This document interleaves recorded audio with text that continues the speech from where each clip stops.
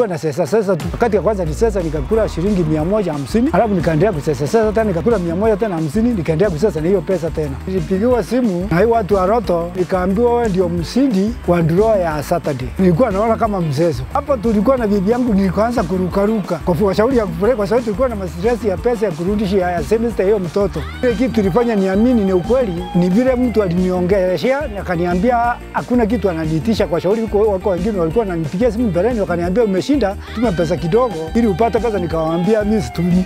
Wameru wale wako huko wajue kucheza mchezo hiyo ya Roto ni ya ukweli. Umesikia kwamba una nafasi zaidi za kushinda kwa kununua tikiti moja tu. Unaweza shinda shilingi elfu hamsini mara nne leo ifikapo saa nne asubuhi, saa nane mchana wa leo, saa kumi na mbili jioni na saa tatu usiku.